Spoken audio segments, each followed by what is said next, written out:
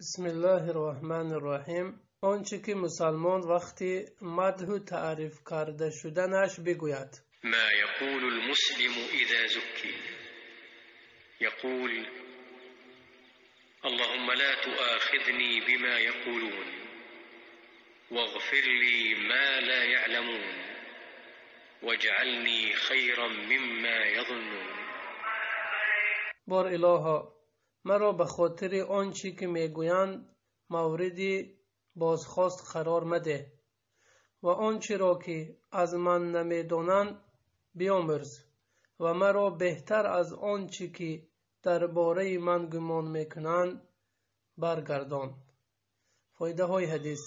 Фоидаи аввал машрӯъ будани гуфтани ин дуо дар вақти шунидани таъриф ва тамҷиди худ аз даҳони касе фоидаи дуввум хоксорӣ э, ҷуз сабабҳои растагорӣ ва саодат аст. Фоидаи севум талаби омӯзиш аз аллоҳ таоло ба хотири ин ки ситоишкунанда аз ҳоли ситоишшаванда хабар дорад.